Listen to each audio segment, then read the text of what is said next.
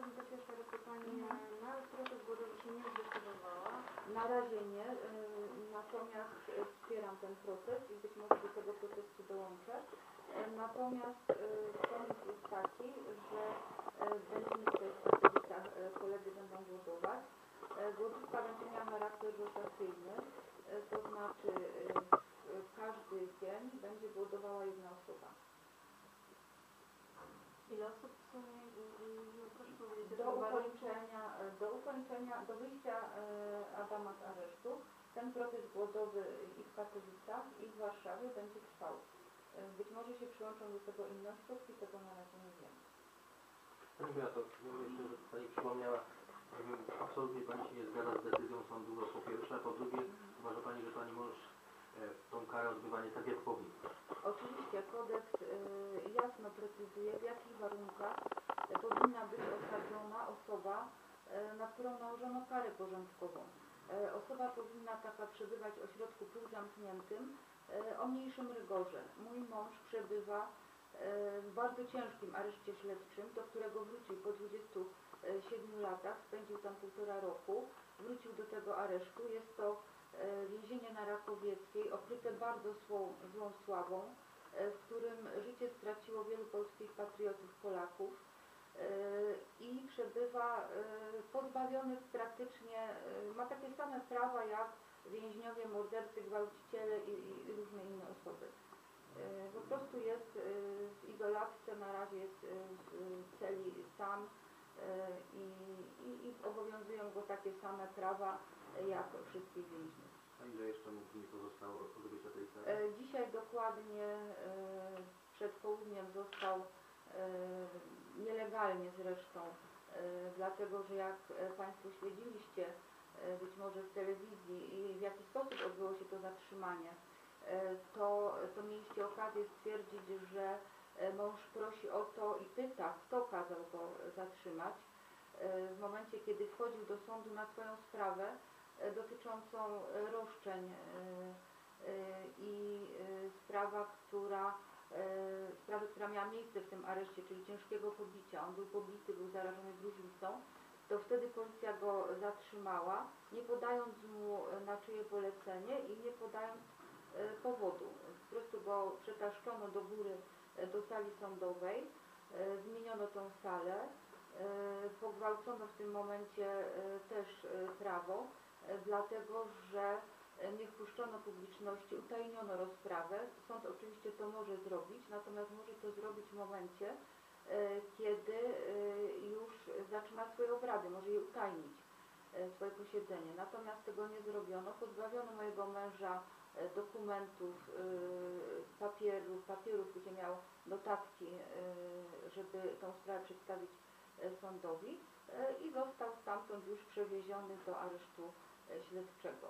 E, Mój mąż odwołał się od tej decyzji. E, W sobotę, e, czy e, jutro, czyli w piątek bądź w poniedziałek w sądzie apelacyjnym w Warszawie e, odbędzie się posiedzenie sądu e, w sprawie zażalenia na, e, na tą karę porządkową i na pozbawienie męża wolności. Ale te pozbawienie wolności już się liczą do odbycia tej Tak, kary, te dni się liczą, A ile czyli już- zostało ile już mu jest? 7 dni, dokładnie dzisiaj jest siódmy dzień, zostało jeszcze 7.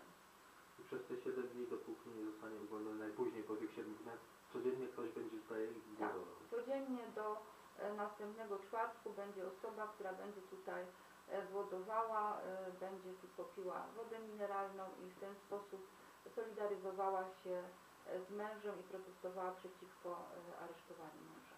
Proszę jeszcze przypomnieć, bo Pani mówiła, został powołany jakiś komitet, tak? Co to jest za komitet dokładnie? A To jest Komitet Obrony e, Sprawiedliwości. Tutaj Państwu zostawimy listę osób. To jest komitet otwarty. W tym komitecie, do tego komitetu wyraziło akces bardzo wiele osób, które e, Państwo na pewno znacie.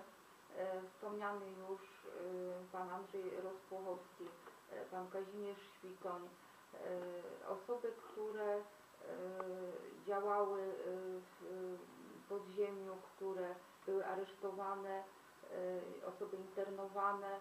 Obecnie komitet jest komitetem otwartym Można się do niego zapisywać, nie ma żadnego tutaj, nie ma żadnych przeszkód. E, I e, taką listę e, Państwu dostarczymy e, tutaj e, z województwa e, naszego tutaj śląskiego z Katowic, kto poparł ten, ten proces.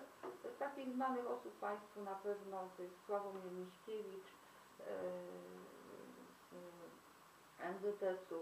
E, Trudno mi teraz jeszcze skojarzyć wszystkie nazwiska. E, Na pewno byli internowani i- więzieni z Libii. No właściwie z całej Polski. Chyba nie ma takiego, takiego e, miasta w Polsce, gdzie nie ma osoby, która by ten proces e, poparła. Dziękuję.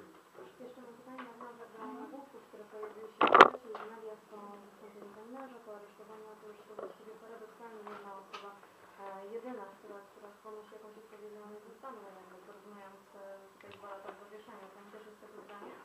E, oczywiście, e, dlatego że e, wyrok sądu e, był skandaliczny. Nie jest tak, że jest to sukcesem, że sąd powiedział, nazwał Wojskową Radę Ocalenia Narodowego zorganizowaną grupą przestępczą o charakterze zbrojnym. Dlatego, że Trybunał Konstytucyjny już tak wypowiedział się na ten temat. W związku z tym sąd jakby potwierdził tylko zdanie Trybunału Konstytucyjnego, I e, rzeczywiście przez 20 ponad lat e, sąd nie starał się doprowadzić e, głównych e, oskarżonych, e, nie, nie dokończył tej sprawy.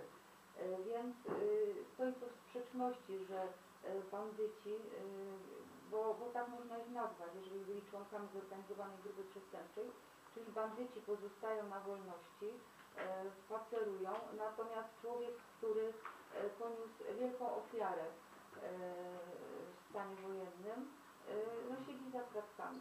Bo rzeczywiście, jak powiedział pięknie pan senator, że Maszewski jest to taki chwilę w historii. Dziękuję. Czy pan może mieć choćby o tym?